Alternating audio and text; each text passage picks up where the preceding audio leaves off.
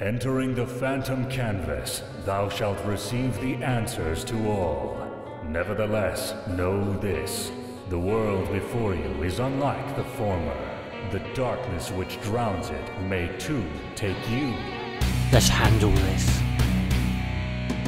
Get back here! We should do this. Right? For pacing reasons, I'm gonna let that go. You and your worlds are not real. You're not even data. Where am I? In a better place than you just were, I'm sure. Frustrating in its familiarity.